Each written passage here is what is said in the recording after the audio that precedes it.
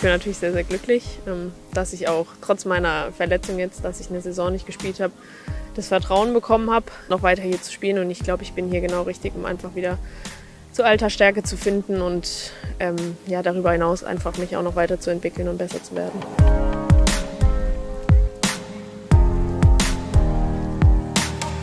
Ich fühle mich einfach mega wohl hier. Es ist einfach sehr, sehr familiär und wir werden von Jahr zu Jahr einfach besser, haben große Ziele und auch das Spielerische, der Spielstil, das liegt mir einfach und ähm, ja, wir arbeiten sehr, sehr professionell und ambitioniert und ähm, ja, das passt zu mir.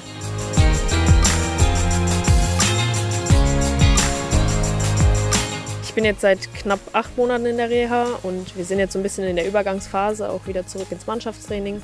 Das sollte jetzt nicht mehr allzu lange dauern. Ja, jetzt wird noch so ein bisschen der Feinschliff gemacht, noch mal ein bisschen Krafttraining einfach, um mich wirklich hundertprozentig fit zu machen, auch Ausdauereinheiten. Und ähm, ja, dann mache ich schon individuell Sachen auf dem Platz, ähm, um einfach diese Abläufe wieder reinzubekommen.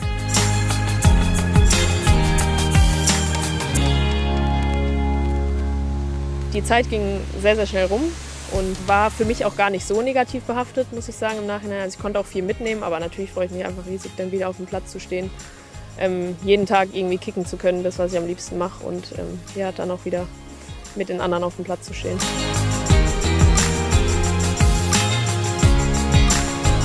Primär sind meine Ziele erstmal ähm, natürlich wieder fit zu werden, erstmal wieder zurückzukommen, mich einzufinden, ja, einfach wieder zu meinem Spiel zu finden, äh, Spielminuten zu sammeln.